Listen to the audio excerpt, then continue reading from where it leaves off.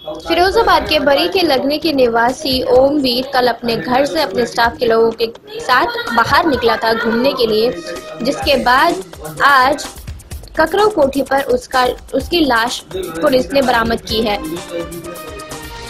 ओमवीर के पिता का कहना है कि लाश की जैसी हालत घायल अवस्था में मिली है।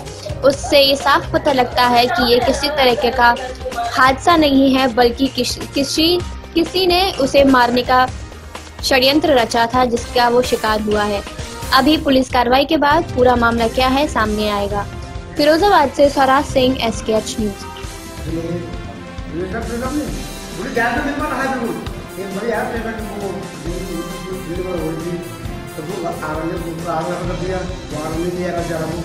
भैया बढ़ गया था तो मामला बन गया था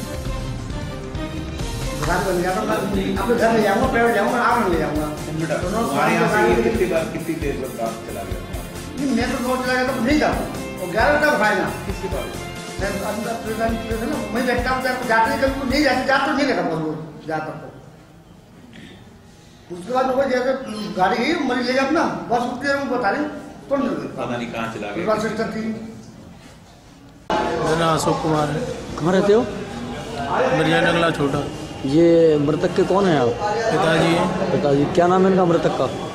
उम्मीद। तो ये कैसे क्या मामला है पूरा? कल जो है शाम को नहा धो के घर से निकला है दो लड़के लिवा के लाए हैं स्टाफ के ही। और यहाँ पर जो है इससे पहले काम करता था अभी गाड़ी पे ही काम कर रहा है ड्यूटी कर रहा था। और यहाँ स्टाफ के लोग ये कह रहे हैं कि अब पहले करता था अब नहीं कर रहा है। तो बताया जा रहा है कि रात को 11 बजे तक जिला अस्पताल में थे। हाँ जिला अस्पताल में साढ़े ग्यारह बजे तक ग्यारह साढ़े ग्यारह बजे तक आपको क्या लगता है एक्सीडेंट लगता है या मर्डर लगता है? मर्डर हुआ है सर मेरे तो मर्डर कहाँ हुआ है? ये कौन सी घटना है? अब ये यहाँ पर ये तो ये तो मुझे पता नहीं कहाँ मारा कहाँ नहीं मारा इसको मगर इसकी बॉडी कहाँ मिली थी? बॉडी ककरू कोटी पे मिली है वो फ़ील्ड है उसका किस तरह से मारा उनको?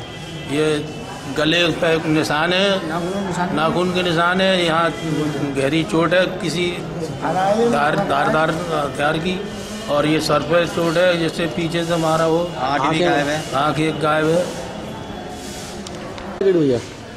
मामला तो सामने दिखाई दे रहा है। इसकी हत्या हुई है।